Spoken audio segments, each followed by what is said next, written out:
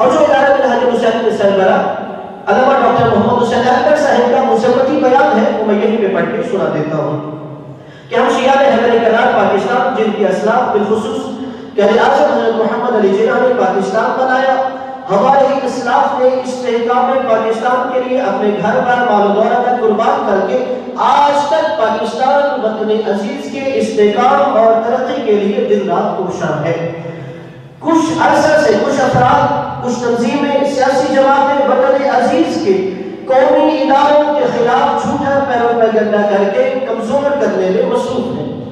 यानी जो हम दाखिली तौर पर इंतज़ार और इख्तिलाफ का शिकार हो रहे हैं, इस हमारे करार और हमारा मौकिफ क्या है? हम तौर पर पाकिस्तान के दुश्मनों को अपना बयानिया बताना चाहते हैं कि जो मुख्तलिफ़ कौमी अदारों के खिलाफ एक पैरोपेगंडा किया जा रहा है। खास पाकिस्तान के इज्तिमा में भरपूर मजम्मत करते हैं। अगर पाक फौज कुर्बान न देती, ना तो पाकि वतन की सरहदें महफूज होती और ना ही दाखिली तौर पर अमन नसीब होता। ये पाक फौज के नौजवान और वतन के गयूर और वफादार अलामा अवाम खास तौर पर शिया हैदर करार, जिन्होंने सैकड़ों लाशों पर भी खड़े होकर अमन के कयाम के लिए कानून को हाथ में नहीं लिया। शिया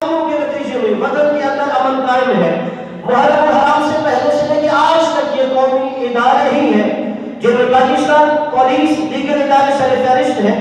दिन रात की काविशों के नतीजे में वतन पाकिस्तान में शिया सुन्नी फसाद से बचा हुआ है।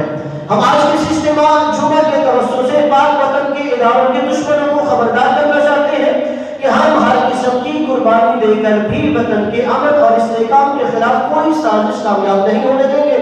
हम आलमी खास तौर पर फ्रांस, स्वीडन, डेनमार्क, नॉर्वे की तरफ़ से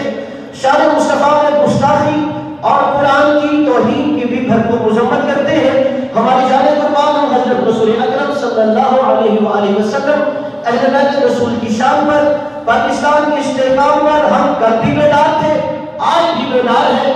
तहरीक हुसैनिया पाकिस्तान, इदारा हाजिर हुसैन की अरकान और तमाम इसके मामिन हर वतन वतन इस्लाम और इस्लाम दुश्मनों के खिलाफ सीसा पलाई दीवार है और रहेंगे